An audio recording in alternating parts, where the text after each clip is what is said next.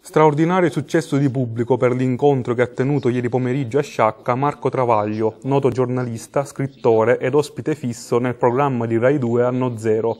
Informazione libera contro tutte le mafie, libertà di stampa, ingerenze politiche ed ingerenze mafiose.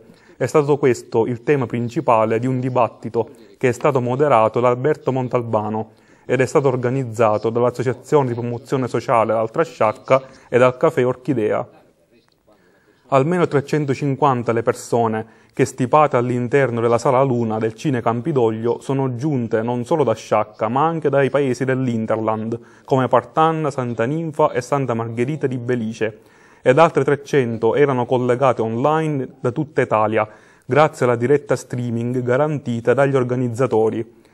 Da sottolineare soprattutto la presenza massiccia di tantissimi giovani ed in particolare di numerosissime ragazze segno che determinati argomenti cominciano ad attecchire nelle nuove e future generazioni.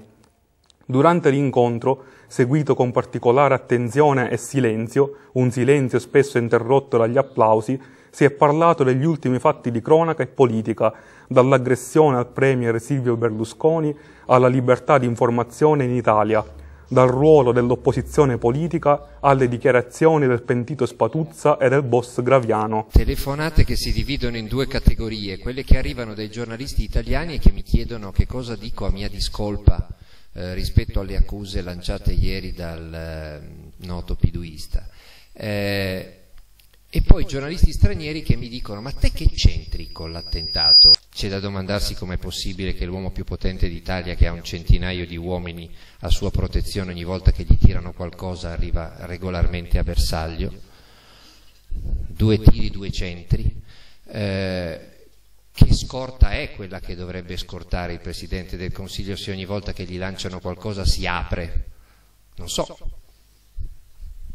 tutti a terra, tirano della roba. Ebbene, non è questa la scorta, non possano esistere mandanti per uno squilibrato. Non esistono mandanti per uno squilibrato. Se uno vuole commissionare un attentato non lo commissiona uno squilibrato. Anche perché poi lo squilibrato non lo controlli, alla fine eh, eh, nel suo squilibrio magari dice chi gli ha mandato a fare quell'attentato, quindi a nessuno verrebbe in mente di ingaggiare uno squilibrato anche perché negli altri paesi è considerato normale che i partiti di opposizione si oppongano. Eh, non capisco che è curioso dirlo in Italia, eh, è considerato bizzarro, infatti voi vedete che l'unico partito che si oppone, cioè quello di Di Pietro, viene continuamente trattato come una banda di appestati, proprio perché appunto il fatto che si oppongano suscita curiosità, eh, ci si guarda intorno e dice ma quello sta all'opposizione e si oppone, dice ma è non collabora col governo per dire non si fonde con il partito di maggioranza in un unico partito, che c'è un clima di odio nel ma dov'è questo clima di odio? Ma chi l'ha visto? Ma dove sta? Ma dov'è? C'è un pazzo che ha tirato una cosa in faccia e c'è un regime che sta approfittando del gesto di un pazzo per liquidare i suoi ultimi conti rimasti in sospeso. Questo è quello che sta succedendo, lo capiscono tutti, si vede chiaramente. Fanno cinque nomi e hanno risolto il loro problema. Hanno zero il fatto, il gruppo Repubblica. Che altro ha detto?